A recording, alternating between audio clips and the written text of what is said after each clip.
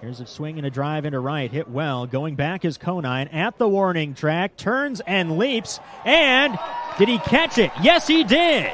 And the pitch, a drive to right field, hit well, cabbage over. He dives and it gets by him. It'll score the go ahead run. Dinner comes home. Encarnacion waved around third. Here he comes to the plate. Conine coming home, and he scores! And a high, deep drive, right center field. Griffin Conine has gone deep for the second time tonight.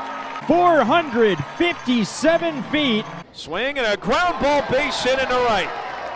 That'll get the job done as Meisner scores. Now Infante's coming home. He's going to be out by 10 feet.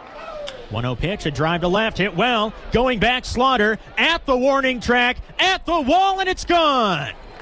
Griffin Conine is Pensacola's new single season home run king.